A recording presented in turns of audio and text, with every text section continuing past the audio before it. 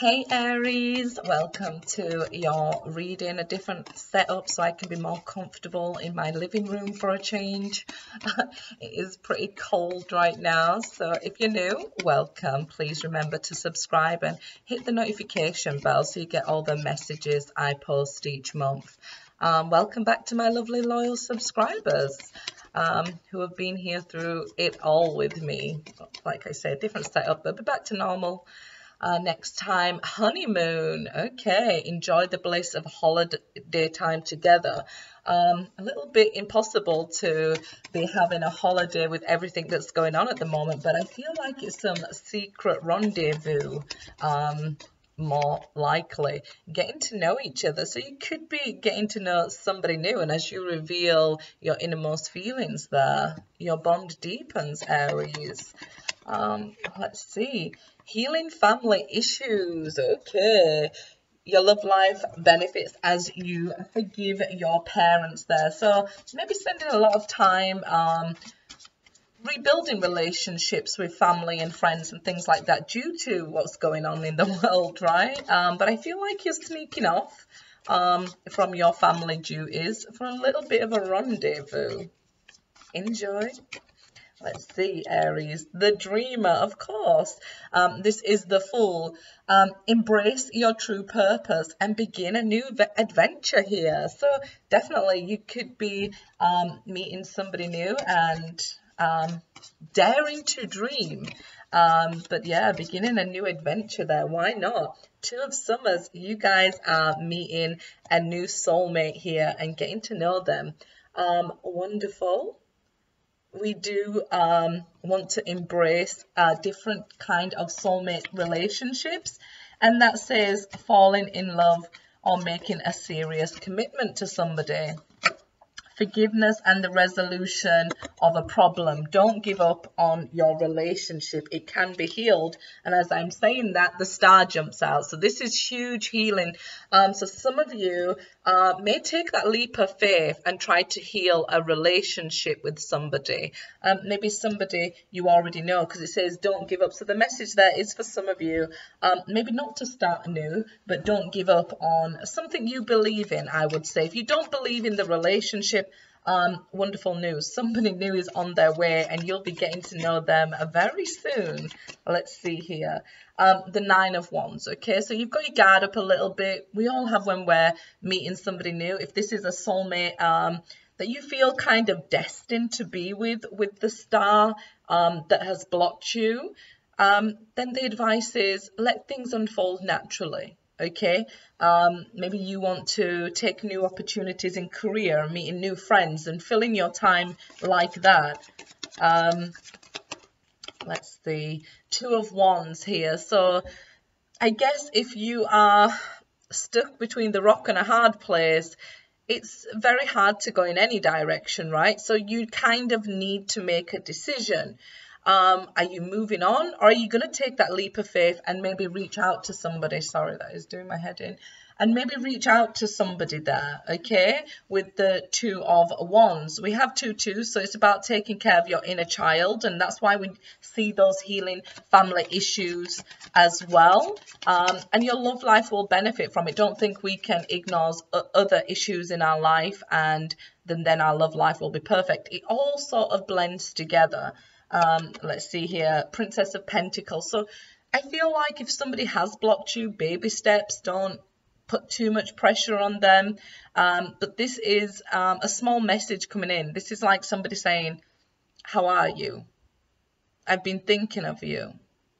Um, and I think that just those small steps will really go a long way um, in building or rebuilding a connection. This is either somebody um, coming in as well to make what seems like a small offer, but it's because the relationship's just started, right?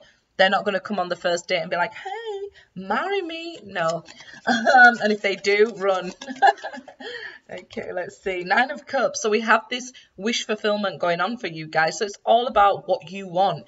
And I guess this is why it's a good idea to make sure you've decided and actually taken action first. So moving towards what you want.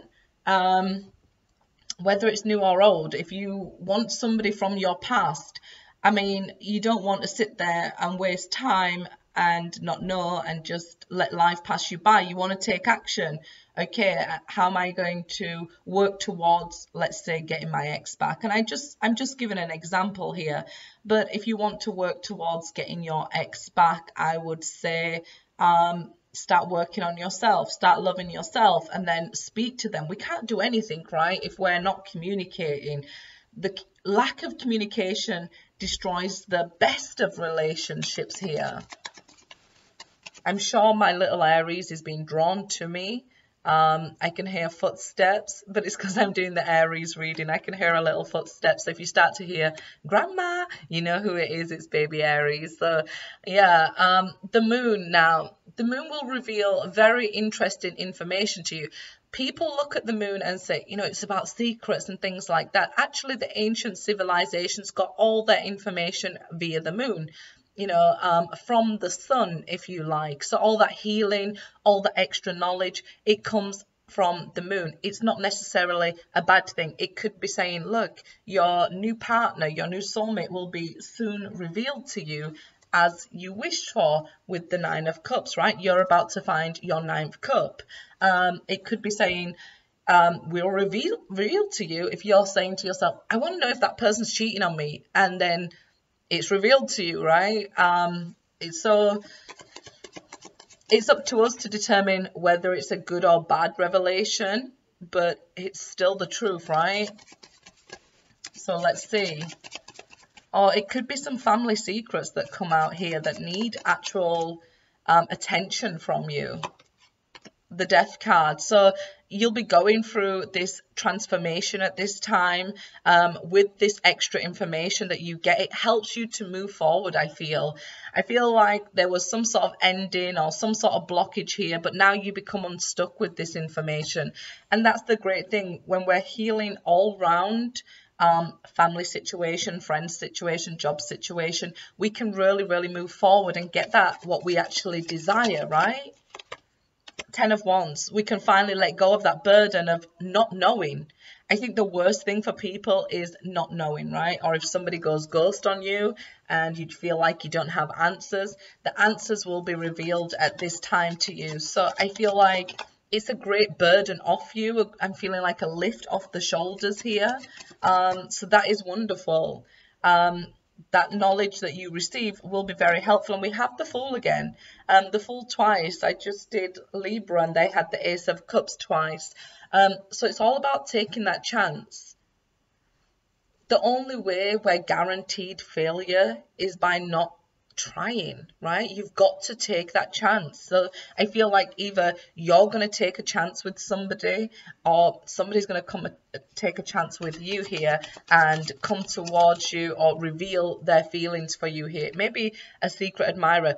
Definitely during Aquarius season as we're rec uh, recording this now. But yeah, whatever the information is, it's up to you what you do with it. We can take things in a positive direction because with the Fool, it's saying, look, you're here. You, you can be at ground zero. You decide where we go now. Are we building up? Are we going off sideways? Are we going to ignore it? You do what's best for you with that information, Aries. Good luck, guys.